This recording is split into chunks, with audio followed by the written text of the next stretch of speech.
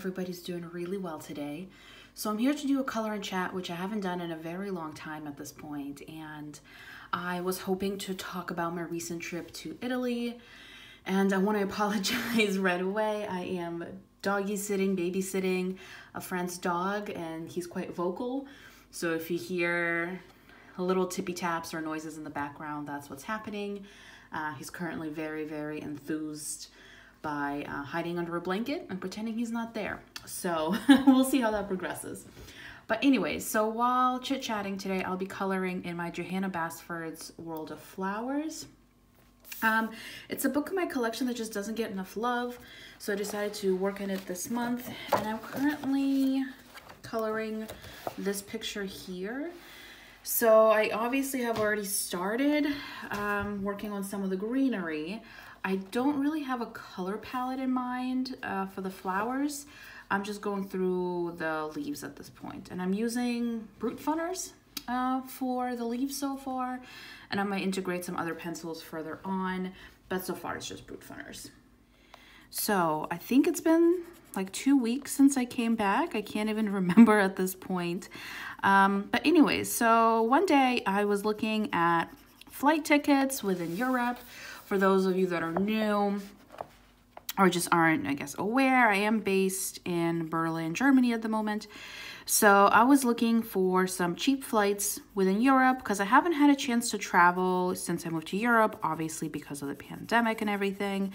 So I figured, you know, the pandemic's kind of been slowing down and it's time. So I was on the hunt for some affordable flight tickets and I found a trip to Milan, uh, Italy, um, for 20 euros, which is like, I don't know, $25.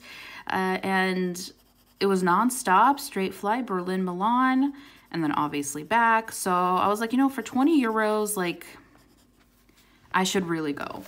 And I booked the tickets and I went on a Thursday evening. So I worked for most of the day on Thursday, flew out. The flight was quite short. And then I was there uh, the entire day on Friday and Saturday. And then Sunday I flew. So I was super pumped. I was I went alone, so I did a little solo trip. I've done solo trips before and I actually quite enjoy traveling solo because you kind of get to decide what you want to do, right? And sometimes I want to sit in a cute coffee shop and read my book for 45 minutes. And I feel like some people might see that as a waste of time maybe, and I also see their point, but that's kind of why I enjoy also taking solo trips because you kind of get to decide what you do and when you do it. So anyways, um, the trip ended up being eventful. Um, so the trip there was just fine. You know, went to the airport, went through security. It was all smooth sailing. Uh, because my ticket was so cheap, and I did go with Ryanair. Oh, do you hear the tippy taps? That's Billy the dog. Um, so I did go with Ryanair. So the ticket itself is very cheap, but then they charge you for basically everything possible. So I knew this going into the flight, so I like ate beforehand. You know, it's not like you need to eat on this flight, it's super short, anyways. And they don't allow even a carry on. So if you wanted to get a carry on, it was actually going to cost me more than my flight ticket. So I was like, there's no way I'm playing I'm paying more for a carry-on bag than the trip itself. Like it was only two full days, right? And a couple partial days. So I was like, no. So I just packed everything that I needed into a tote because you are allowed to bring on like a personal item. So I just packed a tote. So I packed super light. Might have worn a couple sweaters into the plane, don't judge but that was that was my packing. So at least the packing was very quick and very simple. Um, you know, I always knew that if, of course, if I forgot to purchase something, I could always get it there. So it was a-okay. So take the flight, get there, and I had looked up in a, like in advance how to get from the airport to my hotel.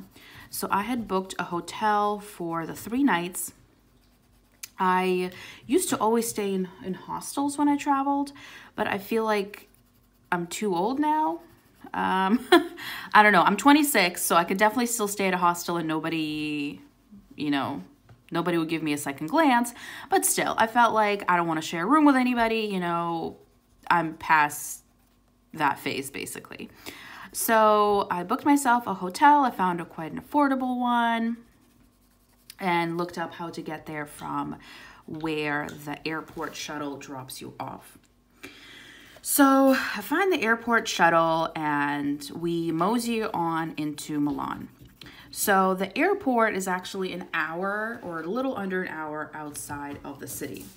Gosh, I'm so sorry if you can hear this crazy dog in the background. Um, so it's about an hour outside of the city. We uh, take the bus. And as I had mentioned, I worked most of the day.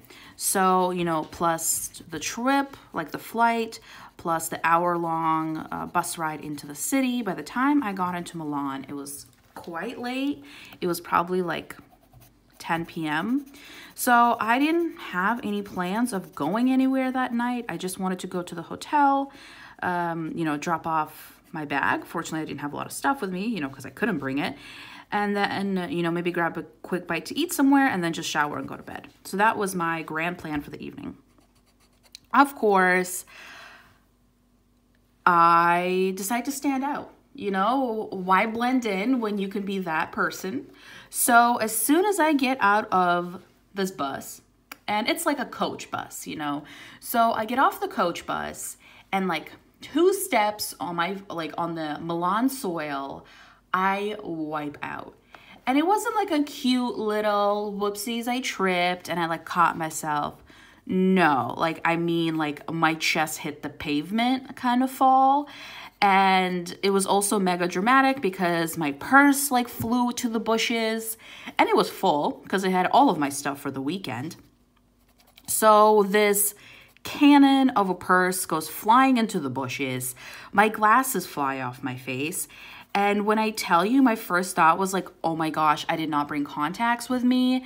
And I have awful vision. So I would, I was like, oh my God, like if I broke the glasses, I might as well go home, like just turn around and go back to Berlin because I'm not gonna be able to see a single thing. Like horrendous vision. I can't see far away, can barely see in front of my face. So, of course, people like rush over to help me since I am splooted on this sidewalk.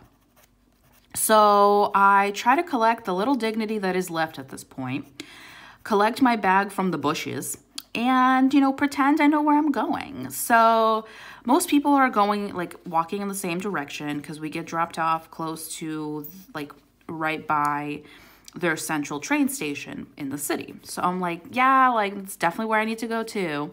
So I'm mosey on that way, and my phone, like, is struggling with, um, getting situated because I have Google Maps open, you know, to try and see how I can walk to my hotel because I said the hotel would be only a couple minute walk from where we got dropped off.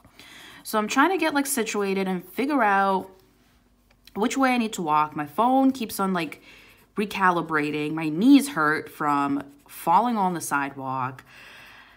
So I do a couple loops around this little like green area in the center. Finally, my phone like calibrates to where I need to go and I mosey on in that direction. I can see the hotel. I'm so excited at this point. I'm like, I don't even want dinner. I just want to shower, uh, you know, check on my knees, maybe apply some band-aids because I could like I could like feel my knees bleeding underneath my pants, which was marvelous. So I'm like, I just I just want to shower at this point and go to bed. Like forget dinner, I'll eat tomorrow. So by the time that I make it to my hotel, bruised ego and everything, it's like 10:30. So there's a gentleman at the desk, um, and as soon as I walk in, you know, I said, "Hey, like I have a reservation, everything." So he asks for my passport and for like my um, uh, corona vaccine documentation. So I give him all the information, and just to kind of like set the scene, right? When I flew there, of course, I double checked the mandates for what I needed to get into the country. And it was fine. I qualified. It just said you needed to have like two shots of, you know, the vaccine. And if you were coming from within the EU, you did not need um, a test. So you needed a test if you were not vaccinated. I was, I'm, I'm vaccinated, so I'm like, cool, I don't need a test, not gonna bother with it. So I get in, right, and he's like scanning my passport and everything. And then he looks at my, uh, gosh, what is it? I'm forgetting my words. He looks at my vaccinations and he goes, okay, and where's your test? And I'm like, oh, you know, I don't, you know, according to the Italian government, I don't need it to enter to enter Italy. And he goes, Yeah, like you don't need it to enter Italy, but Milan has a law that if your last vaccine was more than six months ago, it's no longer valid. And he's like, And you need a negative COVID test. And when I tell you that my my last COVID vaccine at that point was like six months and a week, and I was like, okay, so like, I I don't have a test. What should I do? And I was like, you know, is, are there any 24 7 pharmacies or something where I can get the test done? And he's just like, no, you know, and actually, like, we can't let you into the hotel without it. So I'm like, okay. So he's basically telling me to get out. He was like, yeah, you know, that's the law. We can't have you stay because your vaccine is older than the six months. Uh, yeah, we have this issue all the time with international folks because the laws to get into the country are different than the laws to actually be in the country, which don't get me started on, makes zero sense. So he's like, Yeah, we can't, like, you can't stay here tonight. And let me repeat, it's 10:30 p.m. at this point, right? I am in a foreign country. I've never been to Italy before. I don't know a single soul there. I also do not speak Italian. So I was like, okay, like, is there like a 24 7 maybe restaurant or like, you know, is there a bar that's open all night? He's like, no. Like, this man is being so unhelpful. Like, the word he used most was no. And he's like, yeah, you know, there's a pharmacy down that way. And he like kind of gives me directions. He was basically like, yeah, take a left, left, then a right, and there's a pharmacy. He's like, they open at 8 in the morning and they do COVID vaccines. He's like, once you have that, you can come back and we'll let you in. And I'm like, okay, great. So I am on the street of Milan for the night. Fabulous. Love that for me. And I was like, okay, like, can I at least stay a couple minutes here in the lobby? I was like, my phone is dying. And because I had been GPSing, trying to figure out how to walk to this hotel in the first place, uh, when I was doing loops around the like, like green green area by the train station, my phone was at under 10%. Like it was so in the red. And I was like, "Can I please just like charge my phone a little bit? Like I like I can't like what do you expect me to do basically?" And I was like, "Can I please stay and charge my phone for a little bit?" And when I tell you this man was like, mm, I don't know. Like, and he looked so suspicious at me. And I was like, honestly, I was like 10 minutes, like, I'm not going to try and camp here the whole night. So he finally, like, lets me charge my phone. And I stand by the wall and have my phone plugged in. And he watches me. So this man watches me charge my phone. Like, I'm about to walk around and, like, cause a scene or something.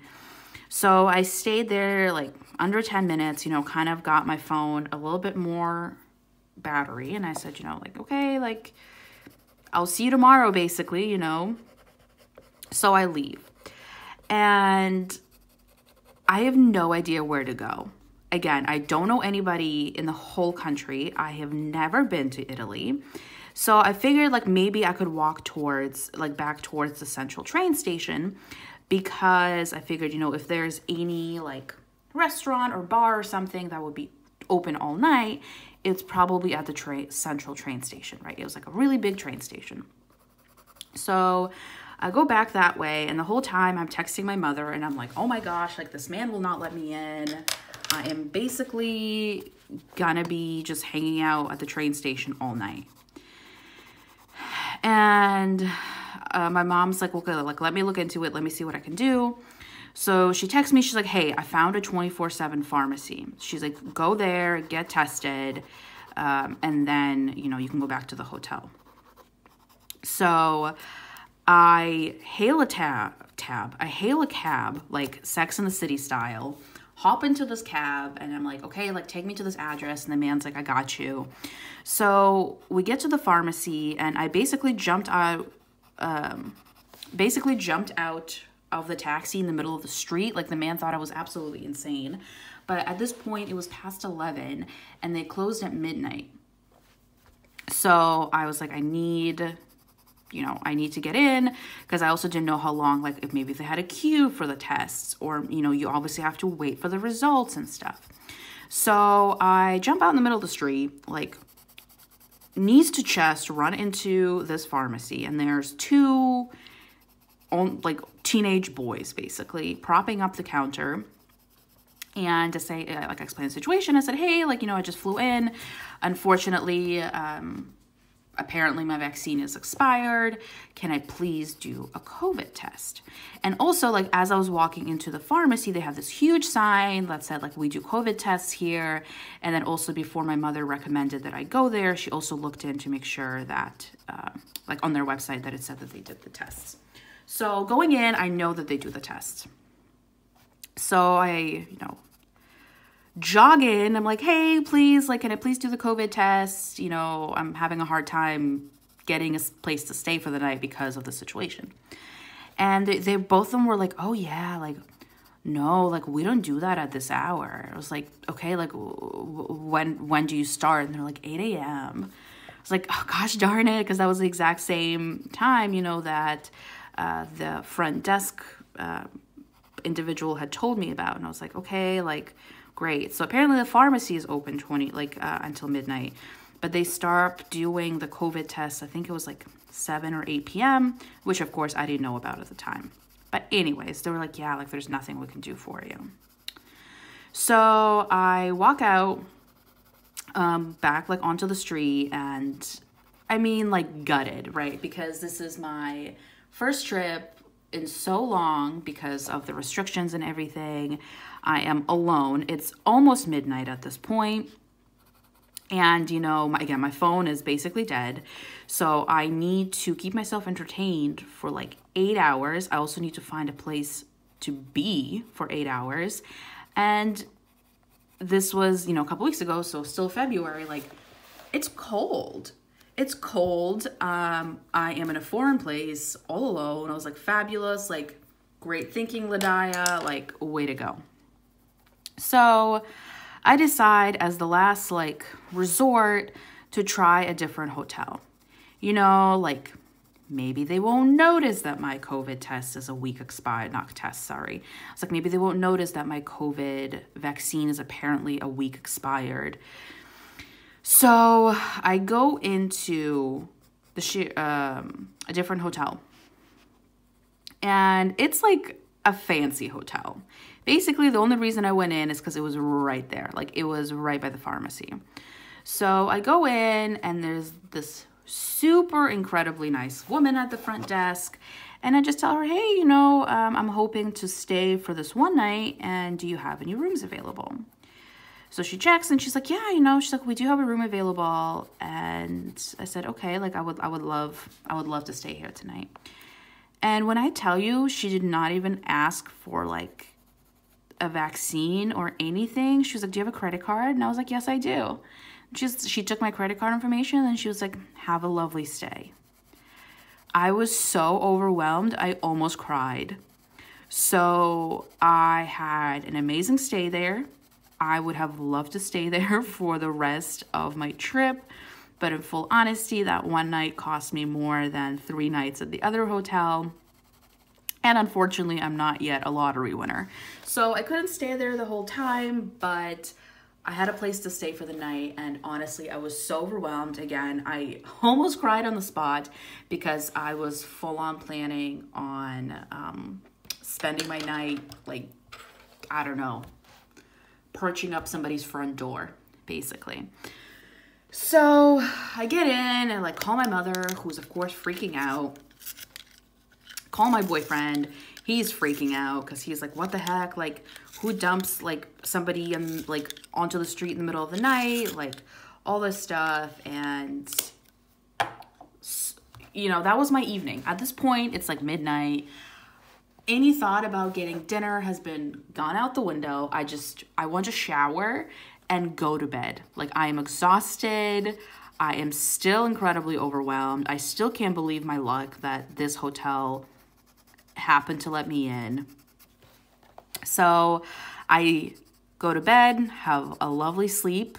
There was like 500 pillows on the bed. It was fabulous.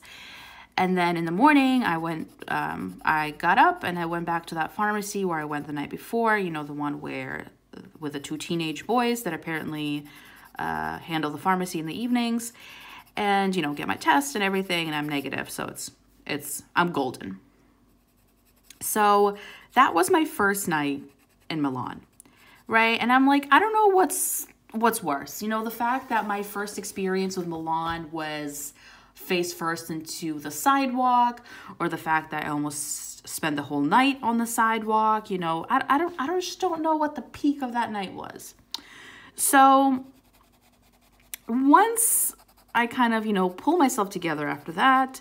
I check out of this amazing hotel, and it's the same woman at the front door, uh, at the front desk, and she's like, Oh, I hope you had a lovely stay. I almost hugged her. I was so happy, so thankful.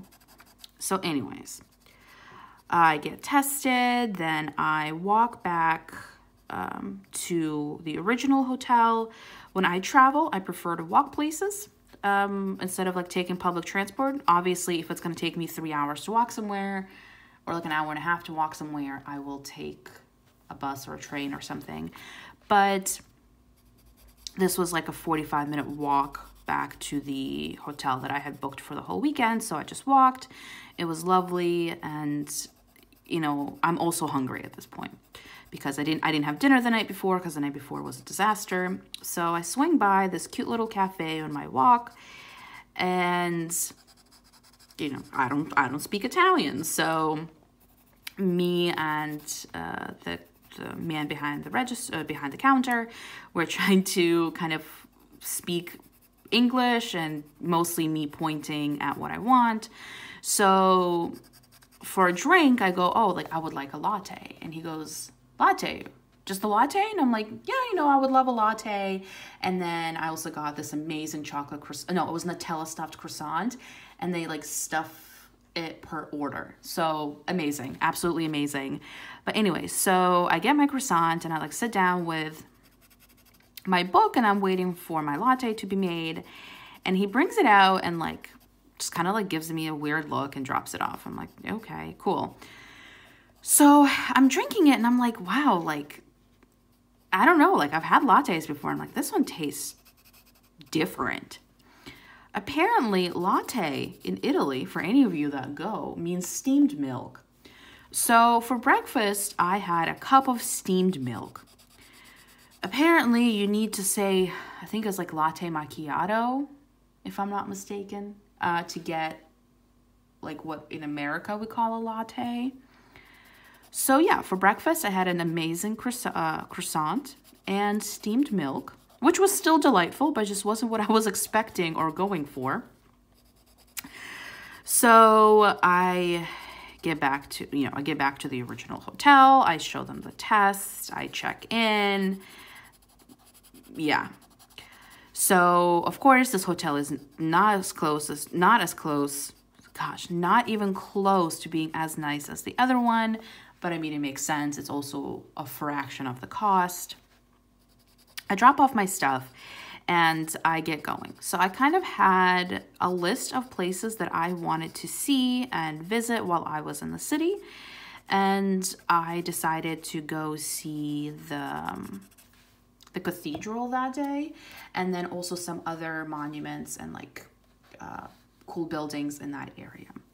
So I did take public transport to get there because it was a super long walk. So if you have never been to Italy or if you're thinking of going to Milan, I would 1000% recommend seeing the cathedral. It's obviously a really big monument in Milan. It's also potentially the most beautiful building like I've ever seen. The architecture outside alone is just stunning, like breathtaking. And then also once you go inside, uh, you do have to buy a ticket. I think it was eight or nine euros. So like 10, 11 dollars. Um, the inside is stunning. Like the mirror, not the mirrors, the windows, the stained glass windows were just insane. Like I could have stood I could have stood there for hours just looking and trying to see the little details and everything in these glass windows. So I did that that day. I also walked around a lot, of course, and um, I tried to, well, I went to see the um, Last Supper, the, you know, the artwork, and unfortunately they were all sold out for like four days or something to come. So I was there, this was Friday, I think, and the next ticket they had available was on Tuesday. And of course, I was going back to Berlin on Sunday so I was not able to see The Last Supper, which was really disappointing, but hopefully I'll be able to go back one day and see it, you know. Um, but yeah, so if you again are also thinking of going to Milan, first of all, obviously make sure that your uh, last test is at least within the six months, and then also book the Last Supper in advance. I also walked around a lot, you know, and just kind of looked left and right. That's kind of my favorite way of exploring different cities is just basically walking and looking, as silly as that sounds. So yeah, it was marvelous. I walked around a bunch and just took in the atmosphere, took in uh, the architecture and everything. And then I had to be back um, gosh, I had to, I had plans um, at, I think it was like six. So before I went, I was looking at things to do in Milan. As I said, I kind of wanted to have at least a little bit of a list, maybe not necessarily everything booked down to the minute of the trip, but still. And I saw that you can take a cooking class while you were there, like with like a professional chef, and you can take a cooking class and um, you learn how to make a three course meal. So I was like, that sounds amazing. Like sign, sign me up. I'm interested. So that's what I had planned for the evening of that Friday. So I go there and found it with no issues, which is a surprise on based on how the rest of the trip was going. So I find the the building and it's um, this like little I don't want to call an office, but she has like a professional kitchen. And there's two girls sitting outside and they're speaking in English. So I said, Oh, you know, hey, like, are you here for the class? Because it wasn't an independent class it was a couple people so they were, they were like yeah yeah we're here and for the class and everything so i met the two girls and they were from california and they were just doing a little trip um, in between their university semesters so we went in and then later uh, two guys um, also in their 20s uh, joined us and they were from portugal so it was just the five of us and the class was amazing. We learned how to make these like little biscotti looking cookies. Then we made pasta from scratch, which was so cool. I've never done that. And we made like a bolognese sauce. Excuse my Italian accent, of course. It's it's garbage. And then we also made an appetizer, which was like an eggplant parmesan. And it was all delicious. We made everything absolutely from scratch. It was so cool. I loved it. I'm actually thinking of doing maybe a German cooking class now that I'm back in Berlin. I just think it would be really interesting. And it was also like all you can drink wine. So we had wine flowing. And yeah, it was just super duper cool. It was nice to talk to these other individuals. And then also, of course, the chef itself. She's been in the industry for a very long time. And then she also had um, one of her colleagues helping her, just kind of assisting, you know, because if it was just her and then five, I don't know, students, right? It was just a little much. So it was a cool experience. And then I ended up just going going back to the hotel and of course we had leftovers so i went back to the hotel with like a bag of food and went to bed. I was exhausted. I think both that day and Saturday, I walked like, gosh, I don't even know, 20 something, 20 something thousand steps, like close to 30,000 steps. To me, like, I know maybe for some people that's not a lot. For me, that's a lot. So, went home, was super excited, had some cookies before bed, went to bed. So, the next day, I went to see, um, I think I would call it a church. I can't remember the name of it, but I will post it. And my boyfriend was in a class that Friday, so the day that I was walking around Milan, and they were learning about a priest that used to preach in Milan, and his church his parish is still standing. So he's like, oh, like it would be really cool if you can go see it, you know, blah, blah, blah. So that's why I went to see and it was really beautiful and it was definitely like off of the beaten path kind of. I hadn't seen it recommended on any of the like what to do in Milan for the weekend kind of lists. So it was much less busy, which I really enjoyed. So I did that. Then I uh, went back to the cathedral and one of my friends had studied abroad in Milan. I don't know how many years ago, but of course I asked him like what would you recommend to do while I'm there? And one of the things he recommended was going to this rooftop restaurant slash bar that is right by the cathedral. It's actually on the top floor of a department, like a really fancy department store. And I have to say that department store needs to reassess their floor plan because if there was ever a fire, obviously, hopefully that will never happen.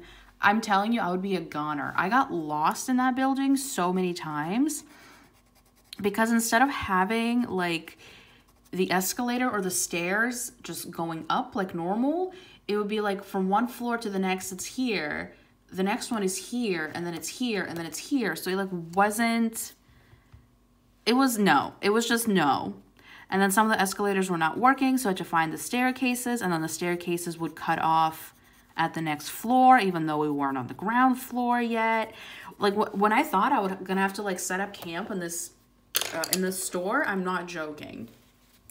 But anyways, so I went to this really, really fancy pantsy um, department store, went up to the top floor, and I was able to sit outside and they um, have a restaurant bar. I got myself, can't remember what I got. I think I got a some sort of caffeinated beverage. Can't remember what else I got. Cookies or cake or something. Anyways, I didn't want to eat because I had breakfast. Now I can't remember where I had breakfast. But anyway, so I was good. So I had a coffee and just like looked over the city. It was beautiful. Again, if you're going to Milan, I would highly recommend. It's stunning. Oh, I remember. Okay, so that day for breakfast, how could I forget? I had looked up like top places to go have breakfast in Milan. And this one popped up and it was a cat cafe. I think it's called like Crazy Cat Cafe, if I'm not mistaken. So I was like, yep, sign me up. I'm in. I'm going. So I went there and it was amazing. They sat me right next to a sleeping cat. So it was amazing. Love the cat. They're so sweet. I think they said there was either seven or nine cats there. I can't remember now. But yeah, that's why I wasn't hungry. I was like, what did I have breakfast? Sorry, I'm already forgetting. It's only been a couple weeks and my memory's already getting spotty. So that was great. Also would highly recommend that cafe if you are in the Milan area and enjoy seeing really cute cats. And they were so well behaved. They just like slept there. Some walked around, but not, like none of them were trying to steal your food or like dip their whiskers in your coffee or anything. It was marvelous. And then when I was paying, I was I was talking to the woman at the register who actually turned out to be the owner and she was saying that yeah the pandemic was actually really hard on the cats because they were not able to get all of their usual pets you know from all of the guests and stuff. So they were happy they were reopened again because the cats were able to get all of the snuggles that they were requiring. So thought that was adorable. But I'm trying to think what else I did. On Saturday I took it kind of easy because frankly my feet were incredibly sore from the day before and I still walked around a bunch on Saturday as well. I love just walking in one direction and like looking at the architecture and stuff. You know, I don't necessarily need a specific destination in mind.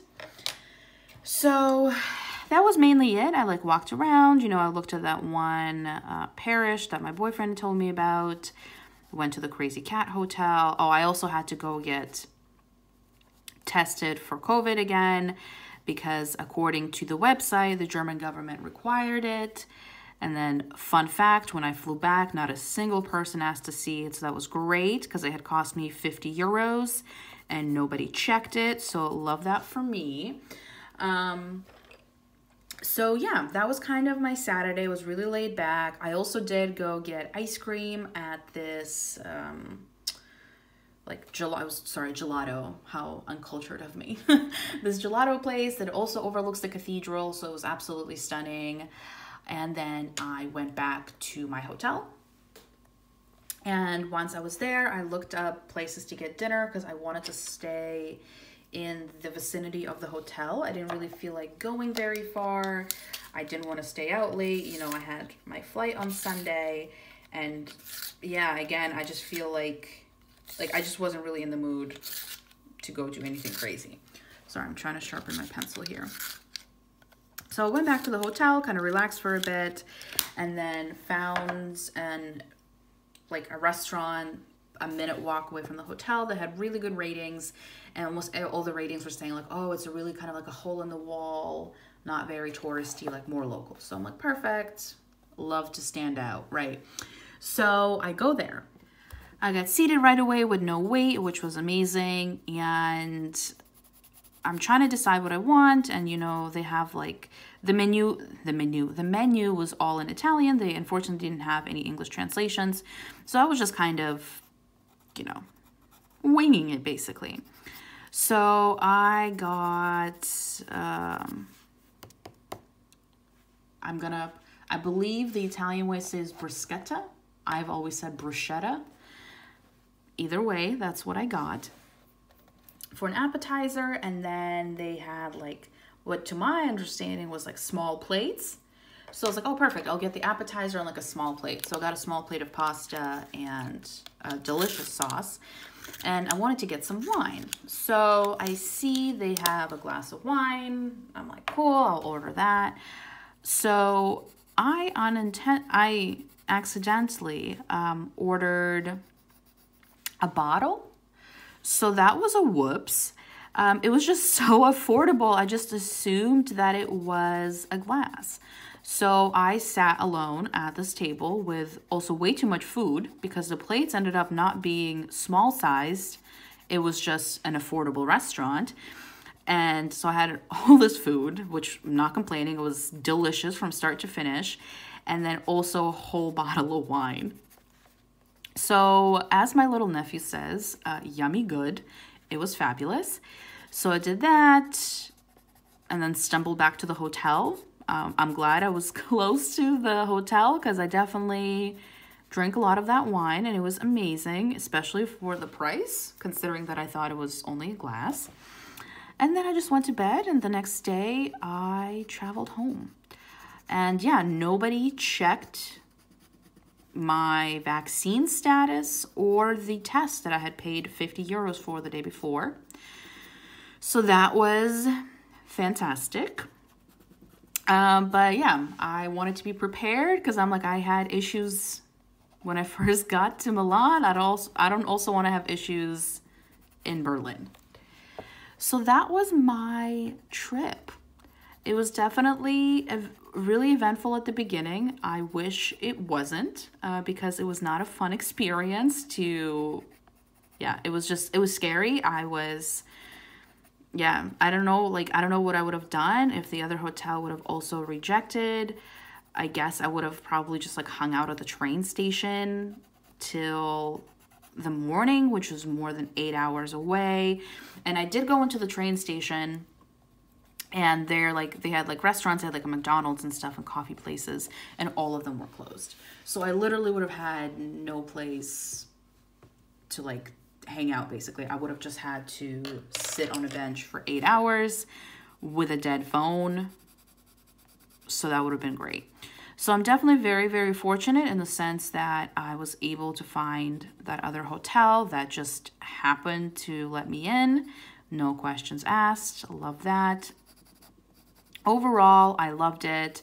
I thought the food was magnificent. I really enjoyed um, the city and the people. Oh, also on Saturday, I went to their um, like river uh, river walk, I guess you would call it, and walked around there. I also found this really cute like bar cafe that faces the water and I sat there and um, I was planning on just getting like a coffee but uh, the man that was talking to me he was so excited about the pizza that they were offering he was like telling me all about it and I was like okay like I have to I have to get the pizza now just because he was so nice and I'm a complete sucker and I have to say it was spectacular like it was so good so that was also part of my day on Saturday. Completely forgot about that. Sorry, this video is a complete mess. But I did a lot of reading during this trip, which I found to be great. You know, I love reading. I love being able to um, relax and just take in the environment and yeah, like have a nice meal. I'm a very relaxed traveler. I enjoy taking breaks and just appreciating the atmosphere and my surroundings. I know that's not the type of travel for everybody. I know some people prefer to like go, go, go and see as much as possible. I would rather miss a monument or two, but not have to run around. Uh, to me, that's really stressful, and that's not, you know, that's not what I want for my holiday. But I know it's different for everybody, and that's completely fine. But yeah, I had a great time aside from me completely wiping out the second I got to Milan and my little debacle at the hotel. It was a great experience. I would highly recommend it to absolutely everybody. Also, if you get the chance, please take the cooking class. Um, uh, the the the business or like you know well the woman that owns the business she does personal personal cooking and then also these cooking classes. But the business is called Chef and the City. So it's based on like Sex and the City. So if you wanted to do something like that, five out of five would recommend. She was fantastic. She was so friendly. She, first of all, also sends you home with a bunch of the food because you obviously make too much food to consume. Uh, the overall price, I think, was like 50 or 60 euros, considering the fact that it was a three course meal the cooking class, like the whole thing itself, was like three hours long, and you got a bunch of wine. It was definitely a good deal. So I would highly recommend. But yeah, overall, very exciting. I'm glad I got to travel again. I wish it had started off smoother, but I'm also really liking this picture. I think this is all the greenery that I'm gonna do. So I need to decide what color palette I want for the rest of the florals in here. But I'm really excited to be coloring in this book again. It's been a while. But yes, I'm sorry that this video was kind of long, but I just wanted to chit chat, you know, jibber jabber, gossip, whatever you want to call it.